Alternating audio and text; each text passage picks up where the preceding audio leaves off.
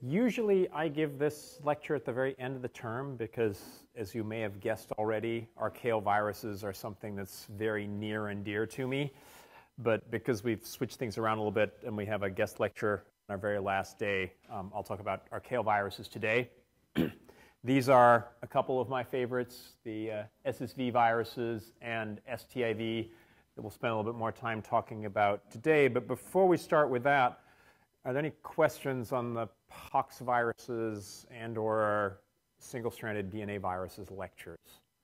Um, just, yeah, David. I just was watching on YouTube, but mm -hmm. it said dependent viruses need associate virus to initiate the cell cycle and go into synthesis. Mm -hmm. How do the autonomous viruses initiate the, the go into synthesis? Oh, so the question is, you know, with the so dependoviruses and then the autonomous parvoviruses um, how the autonomous ones then um, stimulate the stealth cycle. Um, the answer to that is I don't know, but I think it has to do with those NS proteins, the non-structural proteins. Uh, but I'm not completely clear on that. I'm not absolutely certain that it's very well known what it is either.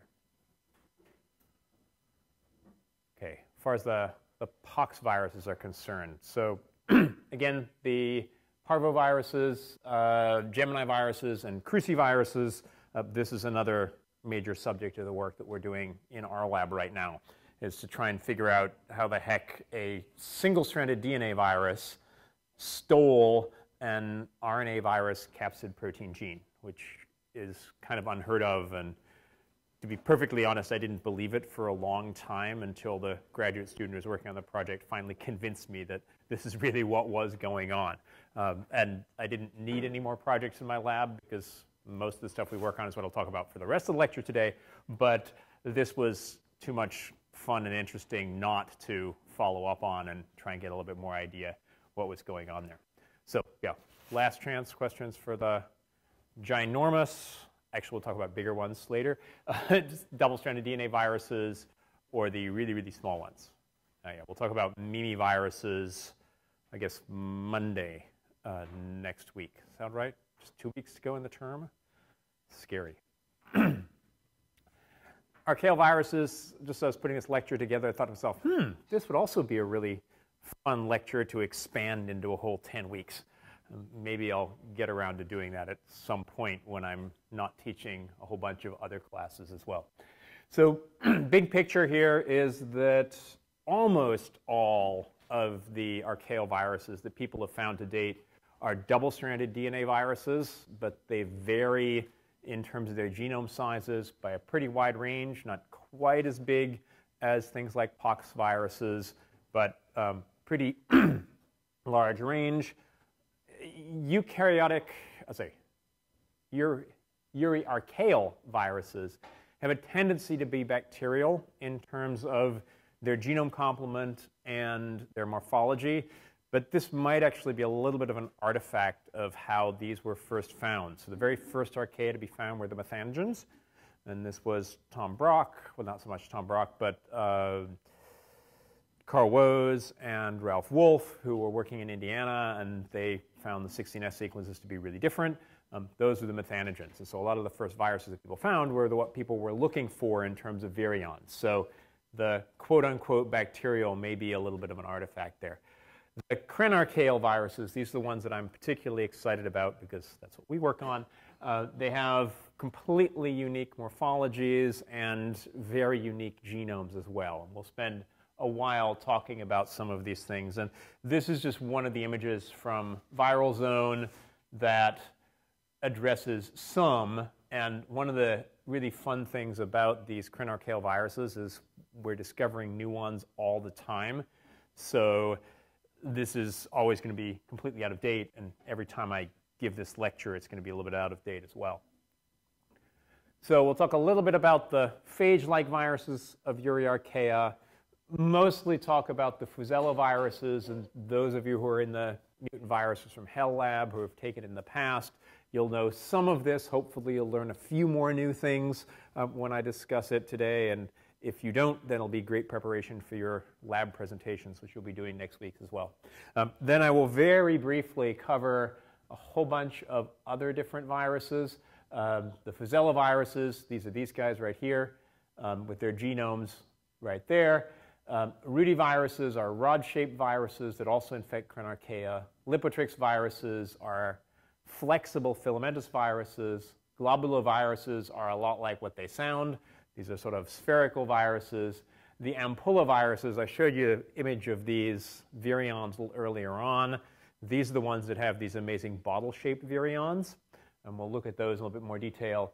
The B. cauda viridae, so two-tailed viruses, these also have a really fascinating morphological change to the virions outside the cell, which is pretty unprecedented. And then I wanted to spend a little while not so much talking about the turivirus structure, but something about what was discovered in terms of how turiviruses get outside of cells. Um, there's something called a virion-associated pyramid, which is a structure that forms on the outside of cells that are virus infected that opens up and the virions come out of the cells. It's a really brand new way that viruses then can get out, I should say the virions can get out of infected cells. And strangely enough, rudiviruses, these rod-shaped viruses, that these virion structures are completely different. Each of these has a protein in its genome, which is just homologous in that one protein. And it turns both of these make these virus-associated, virion-associated pyramid structures, I should say. Now, I'm really excited about these archaeal viruses, but the virus sphere says, oh, they're all just here. They're really pretty boring. They're a very small proportion of the whole virus. And hopefully I will convince you here that that's um, not so much of a, a point to think about. So um, why viruses of archaea? Well, we've spent sort of the first part of the course talking about viruses of bacteria, um, and then talking about viruses of eukarya, but there's also this whole branch of life here, which until actually, now there are a few viruses that were found before archaea were, excuse me, called archaea, but the vast majority of this work has been done in the past 20 years or so. Um, in fact, a lot of the time since I've been working on them. Uh, why should we be studying archaea in the first place? Uh, they're everywhere. They're not just in extreme environments. People thought that they were only in extreme environments, but it turns out that they're everywhere in soils, actually probably even in our own microbiome. You have archaea certainly on the skin and in the oral cavity there's lots of archaea. They are very similar to eukaryotes in their basic molecular biology, transcription, replication. Some people say that we are basically derivatives of archaea, so eukarya evolved from archaea. That's a highly controversial subject right now. The reason I got interested in archaea is because some of them do thrive in extreme environments like boiling acid, and I'll show you some pictures of some of the boiling acid a little bit later on. Everything that I'd learned about biology said boiling acid is not good for life, but they're full of these organisms. Some really fascinating ether lipids that we'll get back to a little bit later on. So this is one of the things that makes archaea really different from both bacteria and eukarya, is they have these really unique lipids. And we'll talk about that again when we talk about some of the structures um, a little bit later on. And the reason they're called archaea, old, is they may be similar to ancestral organisms. And if you look at one of these 16S small subunit RNA trees, the archaea are branching pretty close to a last potential common ancestor. Again, you can argue about these trees. Lots of people do. I'm not going to get into any of those arguments. So archaea just fundamentally are very interesting organisms. And one way to learn about organisms, as we've heard about through all the viruses we've talked about so far this term, is to study the viruses that infect them. And this was actually one of the first big surprises when people started to seriously study the viruses that were infecting these archaea, is that a lot of the morphologies were just really, really different to the virions. Uh, you did have a few that looked pretty standard. And again, I think a lot of this is historical because that's what people were looking for in electron microscopes. They said, okay, if for a long time people thought archaea and bacteria, they're prokaryotes, um, they're going to have the similar kinds of viruses, so you're looking for these head and tail um, like morphologies. But as soon as people started to focus a little bit more on studying these virions, and particularly the virions that infect the hyperthermophilic acidophiles, they found a lot of viruses that look like this, SSV1, that we'll spend quite a long time talking about. Uh, these long filamentous viruses with tiny claws at one end, some spherical viruses. This one, again, the amazing bottle-shaped virus. And then this icosahedrally symmetric one, which actually was the first of the icosahedrally symmetric viruses to be found in Archaea at all, which, again, you know, I was the one to discover in the first place. So uh, people used to think, again, that the viruses that were infecting the Euryarchaea, and sorry, I should have um, emphasized this so we can back up here a little bit to the tree. If you look at the Archaea, they're really divided into two major groups, or at least they were at this point, which is a little older. Um, the, it's a little hard to see here, but Crenarchaea is this group here, including Sulfolobus, and the Euryarchaea are those over here, which it contains the methanogens and the extreme halophiles.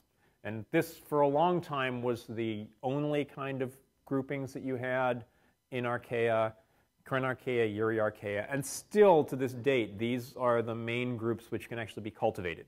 And cultivation, of course, means you can study them, you can study their viruses reasonably well. So there's Sulfolobus and where we are. Uh, so the Euryarchaea, people actually knew about, again, before they even knew that they were archaea. And these are two viruses that were found, so the virions of viruses that were found very early on. SIAM1, which infects methanogens, classic head and tail-like bacteriophage, um, and the genes in this genome actually look a little bit like some bacteriophage as well. PHI-H1, um, this infects the extremely halophilic archaea, really confusingly originally called halobacterium, which gives you an idea what people thought about bacteria versus archaea.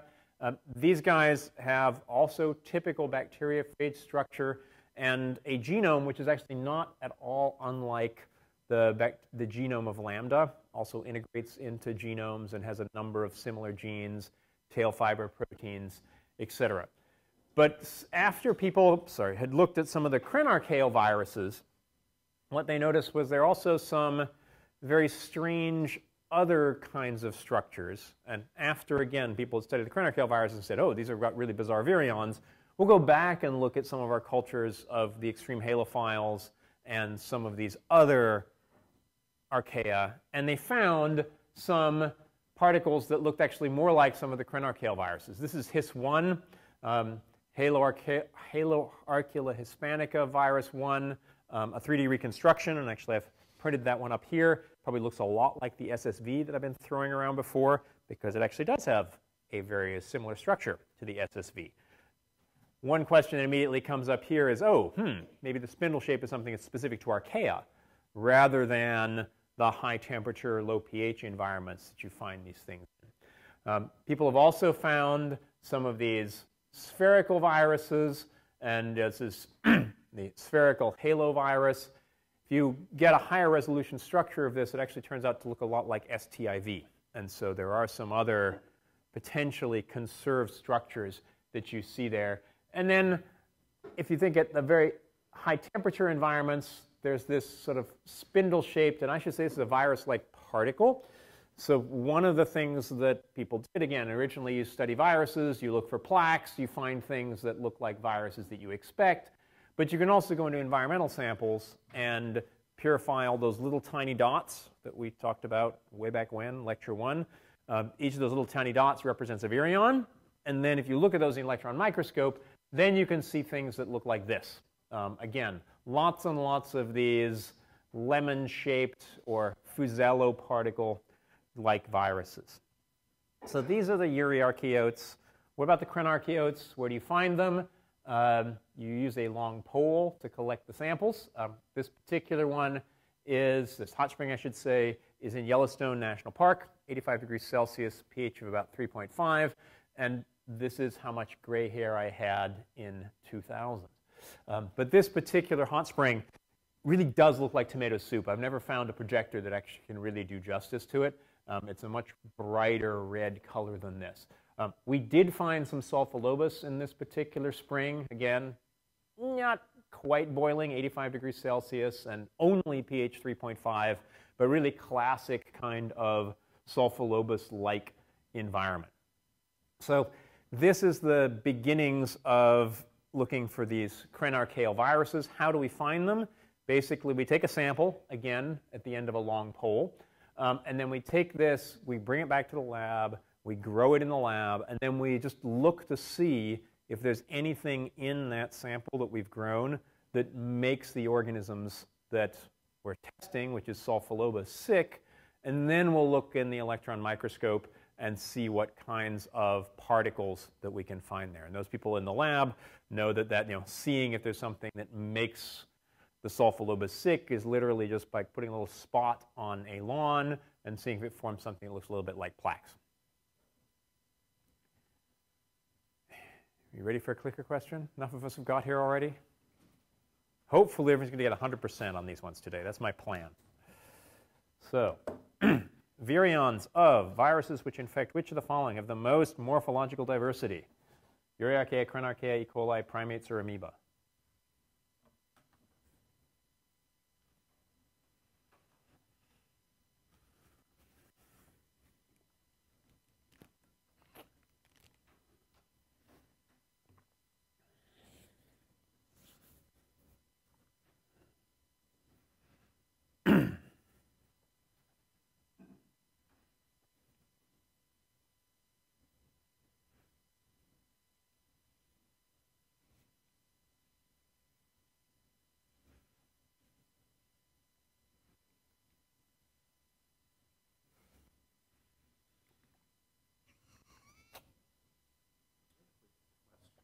Mm-hmm. about the material, but it seems like when you look at these different lakes, like it doesn't seem like they would be the environments would be connected at all. So when you go to like each individual lake, do you see a lot of divergence in like what you pick up from these samples? We'll stop there. You guys can talk about this again. And I'll answer the question really briefly. So quickly discuss amongst yourselves what you think the answer should be because we didn't get 100%. Um, and the answer to the question here is what about going from lake to lake and looking at different samples? We'll talk about that in just a couple minutes. Great question. we'll get back to it.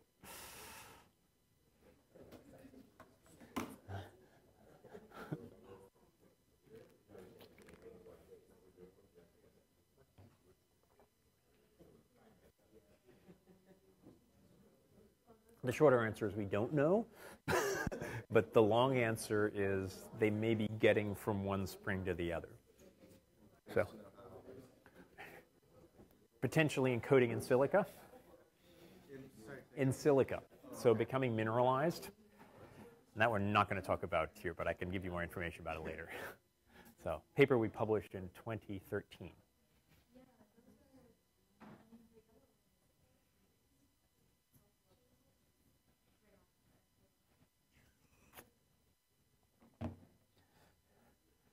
Okay, everyone's decided? Okay, let's go, do this again.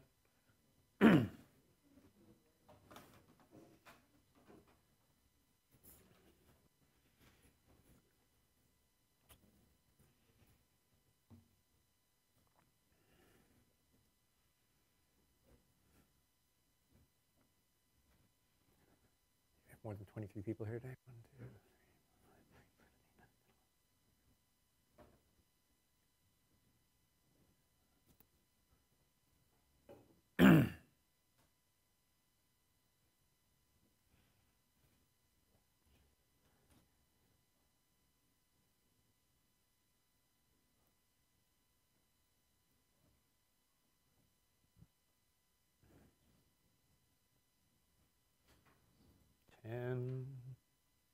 Looks like everybody's voted already. Four, three, two, one. We have one person who thinks it's Uriarchaea.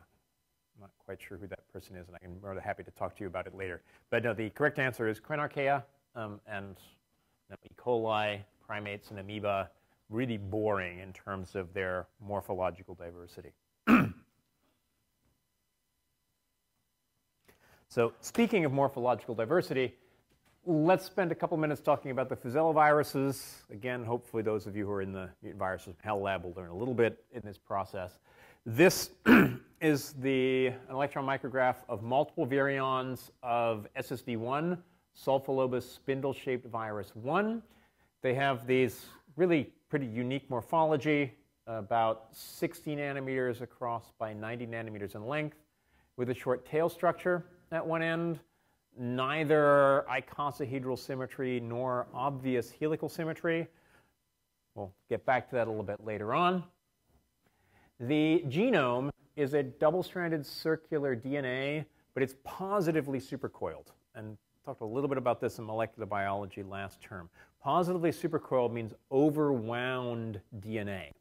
And basically what that does is it compacts your DNA, just like negative supercoiling would do, but it also makes it harder to pull the two strands apart because it's now overwound. And this makes perfect sense in extreme environments, particularly very high temperature environments, because it's going to take more energy to pull those two strands apart. So positive supercoiling associated with these high temperature microbes. And it turns out people found plasmids later um, after this that also have stably positively supercoiled DNA. But this, to my knowledge, was actually the first example of stably positively supercoiled DNA to ever be found, was in just purifying DNA from these particles and finding them therein. The genome itself integrates specifically into a tRNA gene in the host sulfolobus genome through an integrase gene, which actually is quite similar to the lambda integrase gene in terms of its overall structure, structure excuse me, and function. Also very like lambda, the production of virions is inducible by UV irradiation. So at the DNA damage in lambda, you, that gets detected, rec A, C1, et cetera, gives you induction. How induction in SSV1 works, we don't know, but it does, and we've got some ideas on how that could work. And as I heard, overheard, I think David talking about a little bit earlier, um, this particular virus was isolated from a hot spring in Beppu, Japan. Um, and the host that it was found in is called Sulfolobus shibatae. when I first actually started working on this virus a little over 20 years ago, I guess I'm almost legal to work on this virus now. I think I started in 96, so yeah, been legal for a couple of years now we knew actually very, very little about the virus genome. So it's not just the morphology of the virion, but also the virus genome, which is really very unknown. I mentioned this integrase gene already. This is like the lambda integrase, takes the viral genome, inserts it into the host genome, and then if you purify particles, and again, this is before I started working on this, purify virions, you find these three proteins, VP1, VP3, and VP2. VP2 seems to be a DNA binding protein, presumably involved in genome packaging, and VP1 and VP3 seem to make up the majority of this capsid structure. Otherwise, we were actually pretty clueless about what the rest of the genes were doing. And this is when I started working on this particular project. And there are really two ways that you can try and figure out how these genes work, or more than two ways, but two pretty straightforward ways, both of which I started working on. The first one is actually the fun way um, to try and figure out what these genes are, and that is to go to hot springs throughout the world and collect samples at the ends of long poles and bring them back to the lab and see if you can find something that's growing in those samples that will slow down the growth of sulfolobus. This is Wolfram Zillig, who is my postdoctoral advisor and really the pioneer in the study of these archaeal viruses, um, together with David Prangishvili, who I'll also point out at the end of the talk if we get there time-wise, um, and Inge Laura Holtz, um, who really ran the whole lab when I was there and kept him in line. Uh, this is where sampling in Iceland in 1995. I think I know where this is. I'm not absolutely certain because I wasn't on this trip. I was actually very fortunate to go to Kamchatka in very far eastern Russia, collect some samples there from some of the hot springs in a place called the Valley of the Geysers. Uh, this is a place, a hot thermal area where there's many geysers there in Yellowstone that was discovered by non-natives in the mid-1940s. Gives you an idea of how isolated it is. There are about 10 times as many bear as there are people on the Kamchatka Peninsula, and the only way to get here is via helicopter. Oh, pardon me. Um, also, this is Yellowstone National Park. Um, this is a very beautiful hot spring.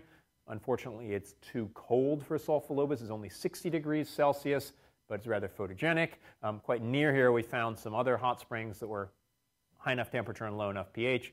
And this guy um, right here is Blake Wiedenheft, who is one of the so-called unsung heroes of CRISPR. Um, so CRISPR-Cas9, he was very involved in some of the structures of some of the CRISPR-Cas9 structures after he you know, saw the error of his ways and escaped from working on these kinds of viruses. So myself and a number of other researchers have gone to hot springs in Iceland, in Kamchatka, that original one that I told you about from Japan, and our favorite hunting ground now in Lassen Volcanic National Park.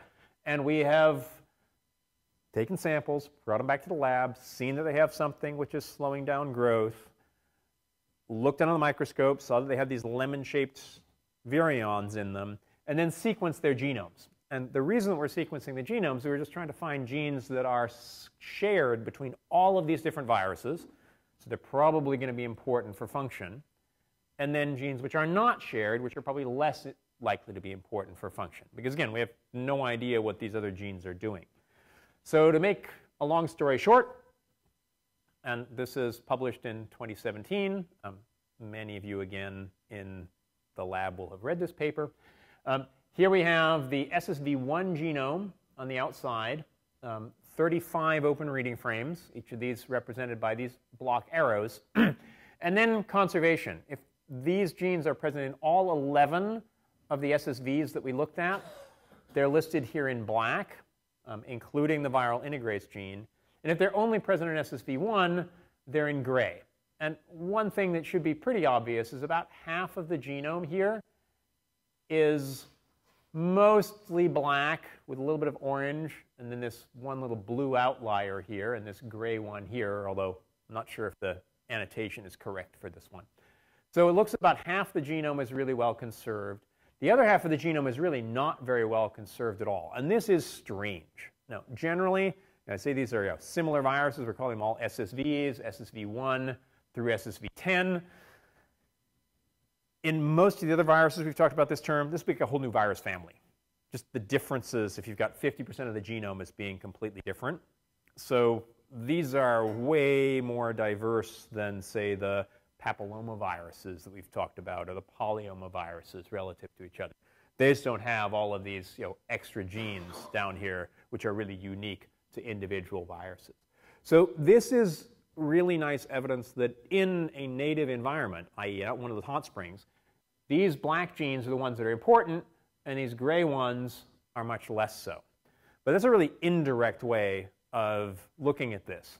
So what else have we done? We've done a genetic approach, and this is something that I set up originally when I first started working on these in the late 1990s, and we've continued to work on this, and in fact, the Mutant Viruses from Hell Lab is working on this as well, where we did both directed and random mutagenesis of the SSV1 genome. So the directed mutagenesis, these are the open reading frames that are shown here in green and in red. We did deletions of these genes. Um, this one here, you can delete it, and the virus is perfectly infectious. If we delete this gene, it's non-infectious. Then we also did insertional mutagenesis. We actually didn't know where we did these insertions. They should be random. Whether they are or not is an open question. Um, anything that's green is then functional when you make an insertion there, and red is non-functional when you make an insertion there. And if you squint your eyes a lot and look at this, about half the genome up here is red, or has red arrows associated with it, and about half the genome down here is green, or has green arrows associated with it. Now, there are definitely exceptions to this as well. For instance, down here, we've got some red open reading frames and red insertions, but we can delete and can't get an insertion there. Um, interesting differences there. But what I wanted to draw your attention to is actually right up here. Um, mentioned the viral integrase gene. I haven't labeled it here. This is the viral integrase gene. Here, looks as if we can't get rid of it. These are the virus structural proteins, um, VP1, VP3, and VP2. VP3 is thought to be something which is really important for virus function, at least in the native environment. It's completely conserved. Every single SSV genome that we found has that gene in it. But here, we can get rid of it, and it still seems to be functional. So this was a real puzzle, and we spent quite a long time. When I say we, um, mostly Eric Iverson and Madeline Gorschels, who were working in my lab at the time. And what we found was that actually, if you get rid of this VP3 gene, it's a little hard to tell here, but the normal, nice, happy SSV1 has this lemon shape. And if you get rid of VP3, these start to be much more cigar shaped and actually much more variable in terms of their shapes. Here, the shapes are really pretty consistent. We've got a couple of weird ones. There's this guy here and this guy here. Whereas when we delete VP3, lots and lots of more cigar-shaped particles. And we've done some of the statistics. Again, they're in the paper. You see that getting rid of that VP3 gene causes the virus to be differently shaped, but still functional. So we think that this VP3 protein is very important for maintaining the nice lemon-shaped structure in a normal case and probably really important in the environment as well. Uh, just again, because of that conservation that we see in samples that we find from out the world, but in the lab we can get rid of it. This is a bit of an overview of this. Um, very surprising is that we noticed only about half of the genome is completely conserved, the other half is not. And again, this in most cases, for when most people talk about viruses, this would make them all completely different families rather than being very similar. Our genetic approach showed that about half the genes are essential. I didn't count them and go through them, but um, take home message of our paper was about half of the genes are non essential. This is also really weird. Most viruses, when you knock out half of their genes, the virus is no longer functional. But in this case, the virus seems to be able to survive in the lab environment, infecting the one host that we're looking at. And then finally, this uh, mutation in a completely conserved gene still is functional, but it makes these aberrant virions. And this is another example of some of those aberrant virions here, and very much elongated in terms of their structures um, relative to the wild type down here at the bottom. One of the things that we've done with this virus particle, working in collaboration with Mark Murray at the UT Medical Branch in Galveston, Texas, We've done cryo-EM reconstructions. This is not a very high resolution structure. It's only about, excuse me, 32 angstroms, about 10 times better resolution would be about 3.2. So we actually start to see some of the individual molecules and proteins in here. We can't do that right now. All we can see is the overall structure. this overall structure um, has this beautiful tail here at the end of the genome. No, it's not colored. It's just shown colored here just to offset it nicely. This has nice six-fold symmetry. Um, where did I put my bacteriophage T4? if you think about, excuse me, bacterial tail structures, those also have six-fold symmetry at the ends of their tails. And so this six-fold symmetry seems to be something very common in bacterial viruses associating with hosts. And the other thing, which I didn't tell you about sulfolobus, sulfolobus has a cross-linked glycoprotein outside layer on the cell. It's called the S layer, which is hexagonal. So hexagonal, six-fold symmetry should sound really familiar. We think that this tail structure is associating with the S layer in terms of being able to infect the cells. We have no direct evidence for this, all of it's circumstantial, but if you've got six-fold symmetry here and six-fold symmetry on your host, it seems pretty likely that these are going to be interacting with each other. So that was the part that got me really excited about this structure. My colleagues in Texas um, got much more interested in what's going on with this part of the structure because this, this doesn't look like an icosahedron. It doesn't look like helical symmetry. How could you describe this in terms of a regular virus structure. I told you it's mostly made of VP1 and VP3, so just two proteins. Usually, if you've got one or two proteins, you're going to have this icosahedrally symmetric structure where you've got pentagons and hexagons. And so they thought more about this, way more than I did. And they came up with this idea of what's called a fused fullerene cone. And basically, what this is, is it looks like an icosahedron at this end for half of it. It looks like an icosahedron at this end, and you can see here the pentamers and hexamers, but basically stretched out and blown up. So you end up with 12 pentamers, shown here in green, spread around either the top and bottom or middle, and that could give you a structure that, again, if you squint at it, kind of looks like this structure. Now, why were they so excited about that? They're very excited about that because it turns out that the HIV-1 oops, capsid structure, uh, where we go here,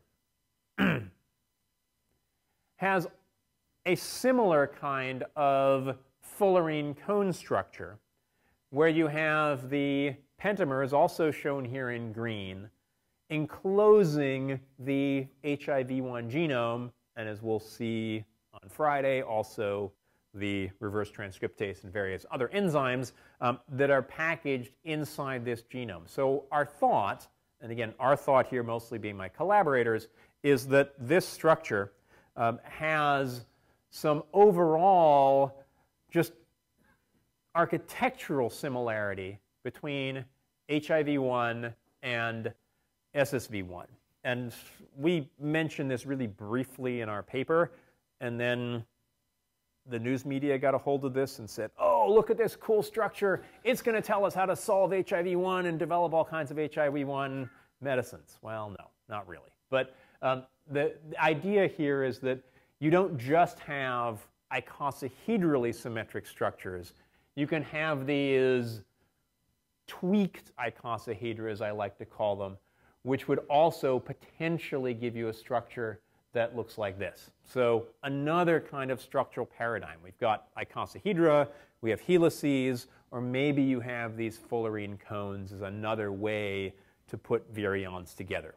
Again, this is, I guess we need to have higher resolution structures um, of these particular virions, and we're trying to do that right now, even though it's taking us a while. This was in 2014, and we're still working on it. In fact, um, Nicole, who some of you know, is going to be sending some particles to our collaborators in Texas, hopefully this afternoon, so we can get some better structures here. So to finish up on the Fusella viruses, um, these have, again, about half of their genes are not required. We find them all throughout the world. Getting back to Gareth's question, how do they get there? Um, great question, because all these hot springs are separated from each other. But where do you find these hot spring environments? Near volcanoes. What do volcanoes do? They erupt and then potentially spread these viruses across the world. And one of the things that you find is that those genomes, again, only half of them are conserved, means that they probably only get from one spring to another on a relatively rare basis. And they've been able to evolve in those conditions. Um, the structure is really quite malleable. When I say this, it's when you change that VP3, it ends up with much more of a cigar shape. Um, and then we also have these viral integrase genes. Ready to answer a question on Fusella viruses that everyone's going to answer correctly? Yes? Okay, let's do this. According to Stedman and coworkers, 2014, uh, the structural architecture of SSV1 is most similar to that of bacteriophage MS2, bacteriophage T7, Mimi virus, HIV1 capsid, or SV40. And we'll let 23 people vote, and if we're at 100%, then I'll just stop it.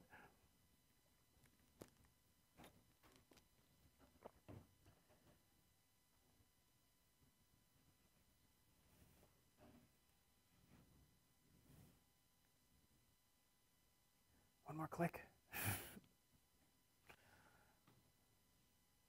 we want to go over the whole minute. Everyone needs a break.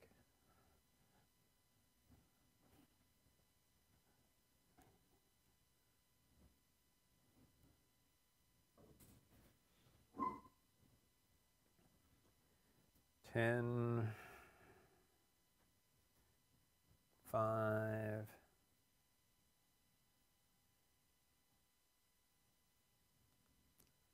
someone's out here to just make, oh, hang on, let me uh, actually show you the results.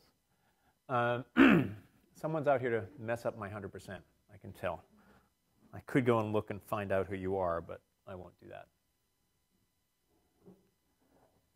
Okay, so now I want to just zoom through, as if I don't zoom through this fast enough already, uh, a few of the other viruses that are crenarchaeal and have some really fascinating aspects about them.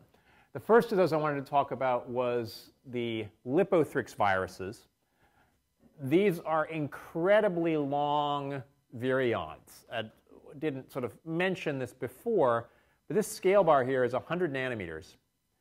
The diameter of the sulfolobus, or in this case, um, yeah, this one's sulfolobus, um, that gets infected by these cells is only about a micron in diameter.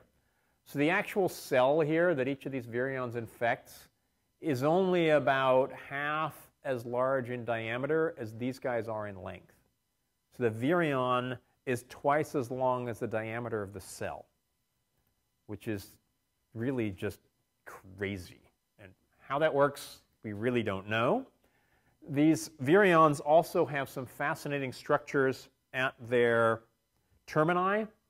These tiny little claw structures, again, this is 100 nanometers, um, and these actually close on pili. So when they interact with pili, they close on the pili, and presumably that's the way that they're getting inside the cell. Their genomes are also double-stranded DNA with covalently closed ends. So they're actually really similar to the pox viruses. Remember those uh, loops that happen at the end of the pox virus genomes? So those are connected to each other. And that gives you a potentially interesting structure at their ends. Um, these guys also have inverted terminal repeats and lots of repeated sequences. I forget what they are, but they're a six nucleotide sequence which is repeats many, many times, so kind of also looks like a telomere in terms of maintaining the ends of the genomes. There's nothing that looks like a telomerase in any of these genomes, but they have this strange repeated structure at the ends of their genomes. The virion that you know, I like the most is these Ascidionus bottle-shaped virus genomes. These have they're pretty large. They're about 230 nanometers in length. And so just for comparison purposes, the SSV here is about 90 nanometers. So these bottle shapes would be about twice this long. Middle East is a million times life size. Uh, but they're really very, very large as far as virions are concerned. They have this pointed end, which is presumably the end which is attaching to the receptor and then these 20 filaments um, at a circle at the base. And I kind of like to think of these as like birthday candles. It was my daughter's 12th birthday over the weekend, uh, but not, you know, not 20. But around the outside, now how you make a structure like this um, in terms of assembly, now this doesn't look at all like a helical structure or a icosahedral structure. How something like this gets assembled is really, I think, a very open question. The genomes are also quite different. Um, turns out that these genomes have a protein-primed DNA replication. So not unlike adenoviruses and the polioviruses in terms of protein-primed genome replication. So that's the Ascidionus bottle-shaped virus. There also are spherical-like viruses. These are curious not so much because of their virion morphology, but much more because of their genomes. Almost all of the open reading frames are just on one strand, so it looks like they're being transcribed from just one promoter. Um, also have inverted terminal repeat sequences, also linear double-stranded DNA.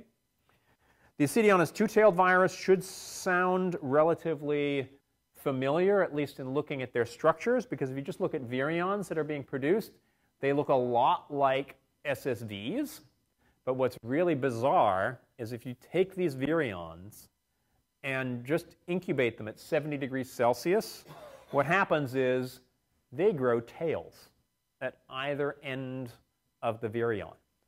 Now, these are pure virions. They're on the outside of a cell.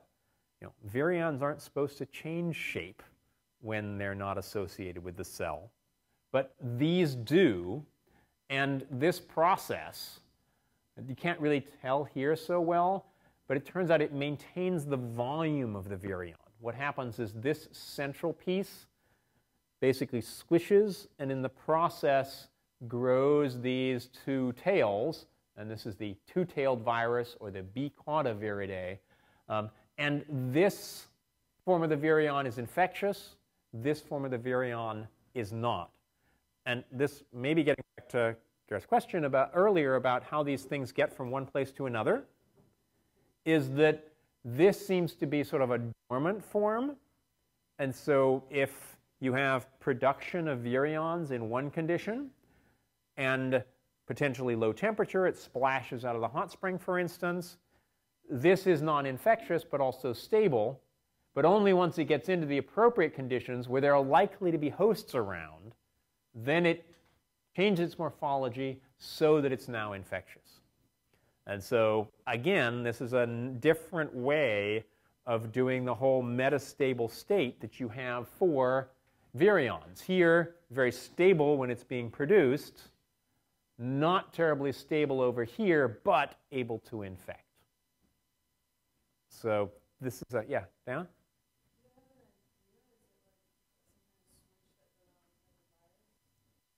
So, do I have an idea how this could be happening? The answer is I have absolutely no clue. But the Prangishvili lab, who's been working on this, what they think is they've actually identified the protein which seems to be involved in making these tail structures.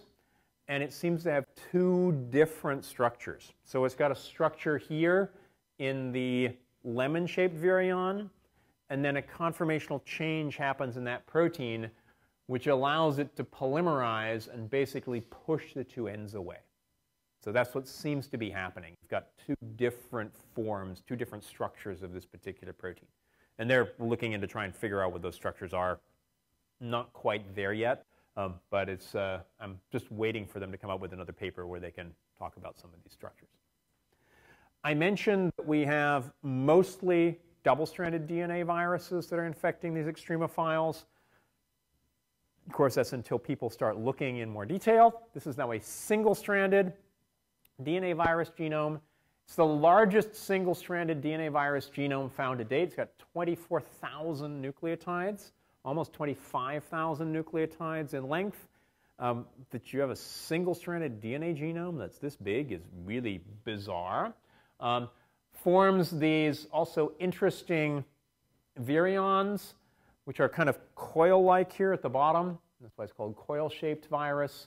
Um, short projection at this end, and then a coil that goes around and around and around, presumably packaging this single-stranded DNA virus, um, ending up with another projection at the very far end here.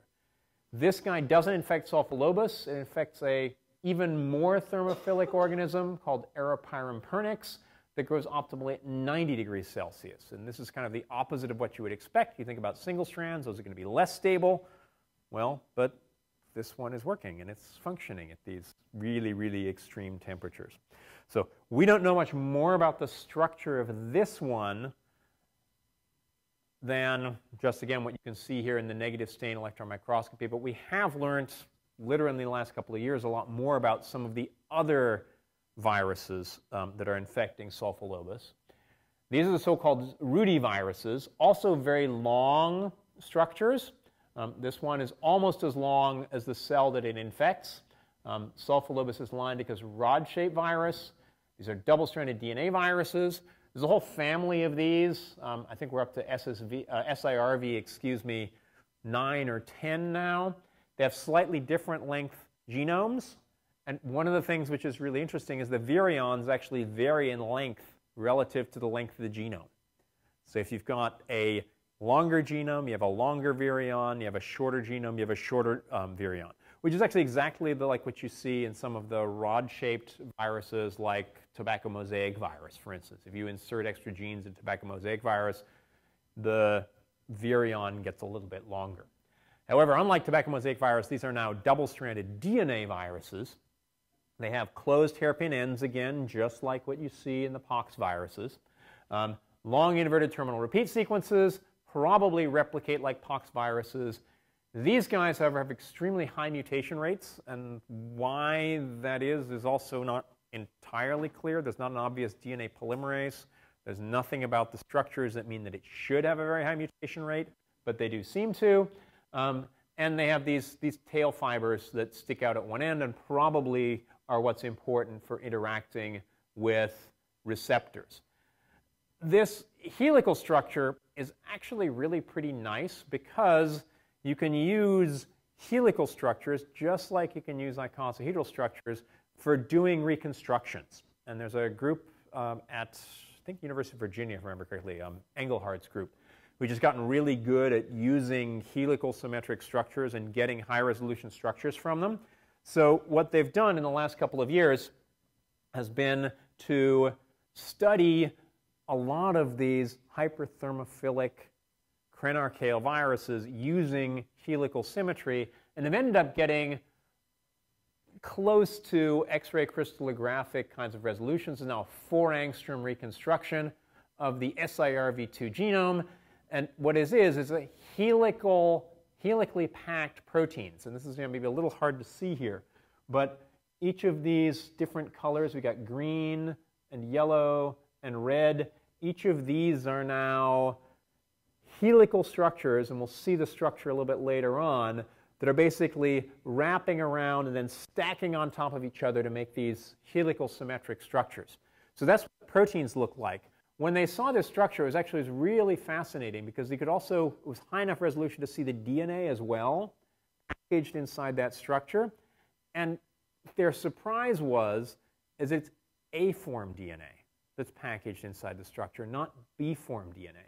So differences between A and B form DNA, the main thing is you have a much larger, say a wider anyway, major groove and a narrow and deep minor groove. And the base pairs are not stacked on top of each other like you have in B form DNA. They're really twisted relative to B form DNA. And this also probably has to do with stability. It's not entirely clear why A-form DNA should be more stable than B-form DNA. But again, these are viruses that are infecting these hyperthermophilic archaea optimally growing at 80 degrees Celsius. So there's probably something about A-form DNA that allows it to be more stable under these extreme conditions.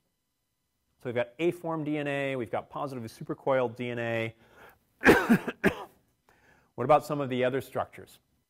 This is um, Aeropyrum Pernix, again, that 90 degrees Celsius hyperthermophilic archaea.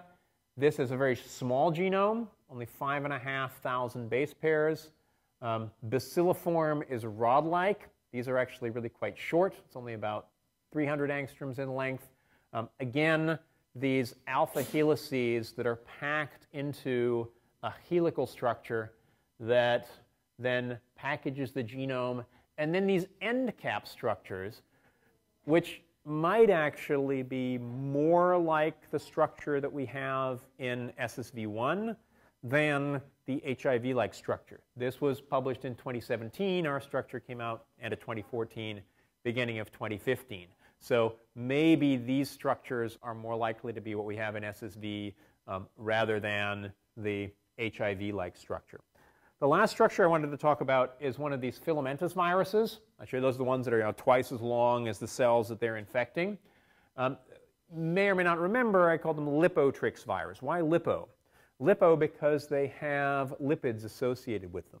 And so this is, again, also from the Engelhardt group, together with David Prangishvili, this is a helical reconstruction of these viruses. So you can actually see this lipid around the outside that's enveloping a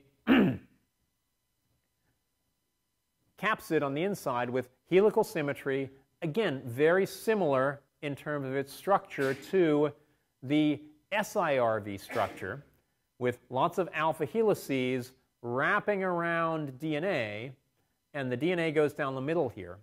And each of these stacks on top of each other to make this helical structure. What's interesting about this particular one, so the Ascidianus filamentous viruses versus the Sulfolobus islandicus rod-shaped virus, the overall structure here is very similar. Terms of this you know, dimeric structure looping around the DNA in the middle. But here, your alpha helices have been moved. So we've got purple and green, and these green and purple are really overlapping with each other, actually kind of forming coiled coils with each other. Whereas in this Acidianus filamentous virus, one of these helices says, hey, I don't want to mess with my neighbor here. I'm just going to fold back on top of myself. These sequences really don't look like each other in terms of their primary amino acid sequence, but have almost identical structures relative to each other. Um, and again, are packaging DNA through the middle here. Unfortunately, this structure is not quite high enough resolution to say if it's A-form DNA or not, but it probably is A-form DNA that's being packaged in this structure as well. So this, again, apart from the actual structure of the major capsid protein, very similar between the Sulfolobus islandicus rod-shaped virus and the Acidianus filamentous virus, except that these guys have lipids around the outside. And one of the fascinating things about these lipids, if you just look at the lipids, and I mentioned this right at the beginning, um, we've got many cases tetraether lipids present in archaea, and these are specific to archaea. If you look at how big these are, if you just stretched out one of these lipids, it's actually too long. Normally, one of these lipids from end to end, the lipid would be from this end of this arrow all the way to the end of that arrow. But it's a really skinny lipid layer on the outside. And they did some molecular dynamics studies where basically they just do lots of calculations in terms of where each of the atoms should be in your molecule. And they came up with this really, I think, bizarre looking structure, which matches now what they have in terms of the width of this membrane, the envelope on the outside of this virus. It's a bent lipid, just this horseshoe like lipid.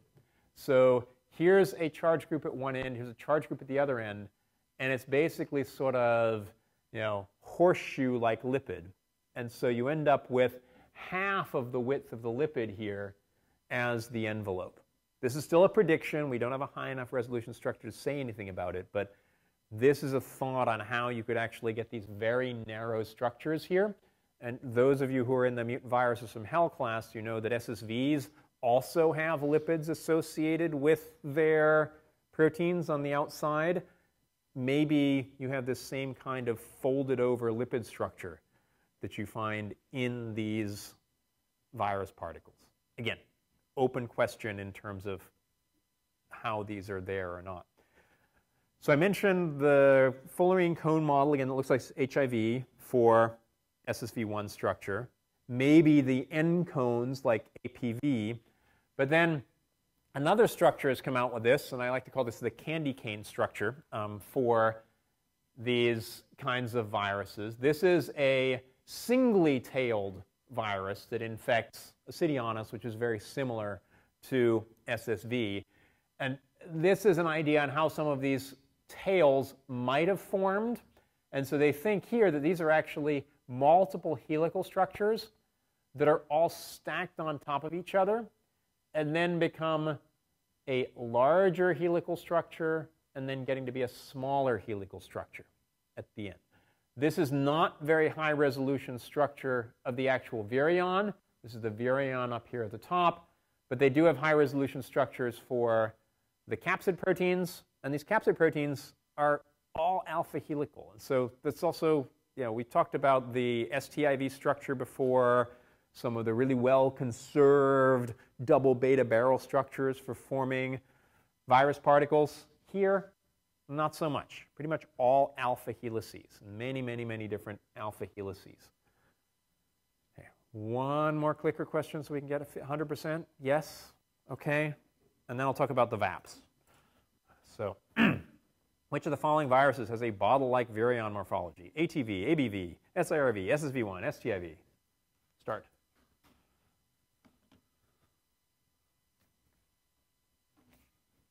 alphabet soup. Unfortunately, there's a lot of the alphabet soup, and I'll try not to have too much of it on the final, but there'll be some.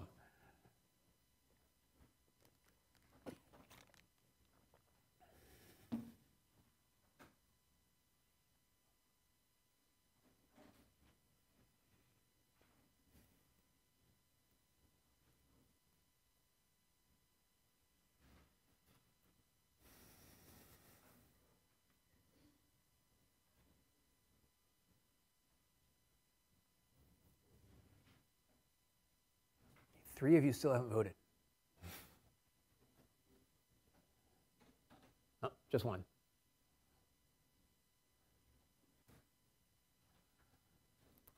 Five, three, two, one.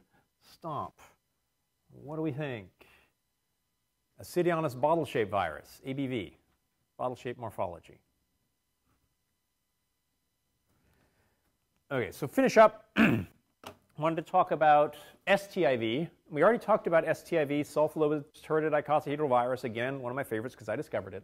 In terms of the overall structure, which is nice icosahedrally symmetric with these you know, five-fold axis of symmetry right here.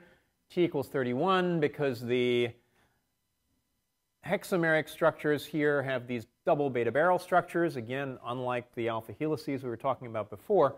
But didn't want to talk about the structure here. I wanted to talk about one thing that the group that I was working on um, with discovered after I left the lab there, this is Mark Young's group at Montana State University, is they were looking at sulfolobus that was infected by these particles, and they saw these really weird pyramidic-like projections coming off of an infected cell. So these are normal cells over here, SEM and TEM. These are infected cells with these pyramids. And down here, this is a TEM with the SEM. And then after the viruses of virions, which say are released, you end up with these holes in the surface of the cell. And they'll blast it apart right here. This was what was seen with STIV but basically almost simultaneously, SIRV, these long rod-shaped viruses, they see exactly the same thing happening with these cells. And we've done some electron tomography where you can look now in more detail at each of these pyramids, as they call them, virion-associated pyramids. Here's the virion underneath one of these pyramid structures, which is really amazing in terms of its symmetry here and then that opens, and it's got a sevenfold symmetry to it, which is also one of the very strange examples. Very few cases in biology do you have anything with a sevenfold symmetry. Six you see all the time, five you see all the time, three you see all the time. Seven is very bizarre. And it turns out if you just take the protein, which we now know what does this, and put it into E. coli, they will make pyramids like this, even though E. coli has nothing to do with sulfolobus or any of the viruses that are associated with it. The pyramids won't open in E. coli. You can also put this gene into Saccharomyces cerevisiae, into yeast, and they also will make these pyramids. So a brand new way of virions getting outside of cells through some of these archaeal viruses. And I love this image. This is a reconstructed false colored tomogram of a single poor sulfolobus cell producing SIRVs through all of these pyramids, um, which have made holes, and then each of these particles can end up being released um, through those holes. One question that people talk about, and we talked about this way, way back at the beginning, wanted to come full circle here, where do viruses come from? This is work from David Prangishvili and Patrick Forterre. Um, they think that there was a ancient virus sphere around our last universal common ancestor, and then the viruses have evolved together with their hosts, so bacterial viruses and bacterial hosts, archaeal viruses together with archaeal hosts, and eukaryotic viruses together with eukaryotic hosts, but all of them develop from this ancient virus sphere. And we may talk about the giant viruses um, a little bit later on. This is just what I've talked about for the last 65 minutes. Don't need to get into this in any more detail. And I just wanted to tell you, oh, sorry, show you a quick picture of the guy who's really been responsible for all of those new viruses, um, David Prangishvili, who sat right next to me during my postdoc um, in the Zillig lab in the late 1990s and has continued to do this work both in Regensburg and at the Institut Pasteur in Paris. We'll talk about HIV on Friday.